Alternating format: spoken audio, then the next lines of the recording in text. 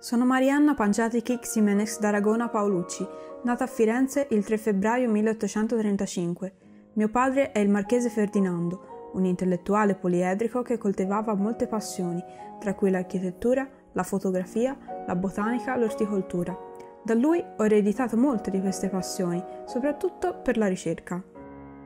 Sapete, quando avevo solo 31 anni, è uscito il mio primo lavoro scientifico su una prestigiosa rivista francese, ma è stato solo il primo che ha dato inizio a una lunga serie di successi. L'impegno e la costanza che ci mettevo sono stati ripagati con diversi riconoscimenti e non mi fermava il fatto che la comunità scientifica fosse prevalentemente maschile. Io ciò che scoprivo lo volevo condividere col mondo ed è forse il mondo e la sua bellezza che mi hanno portato ad amare ancora di più il luogo in cui ho vissuto un periodo della mia vita.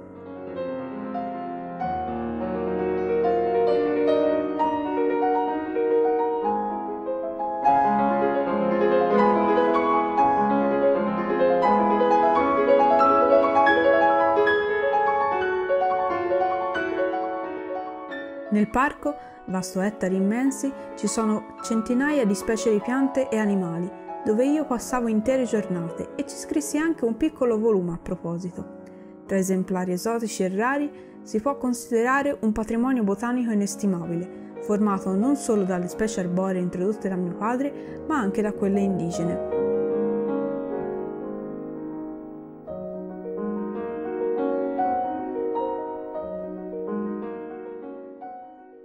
Mosaici, armonie geometriche, colori, bassorilievi, cupole, archi e imponenti finestre sono ciò che lo rendono nel suo insieme un posto fantastico e sospeso, tra la magia e la realtà, tra Oriente e Occidente, esempio lampante di come tante culture diverse possano convivere e influenzarsi a vicenda, per divenire un'unica realtà.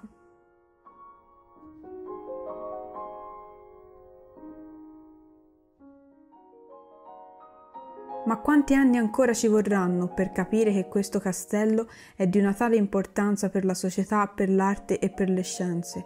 Nella mia famiglia siamo sempre stati mecenati della cultura.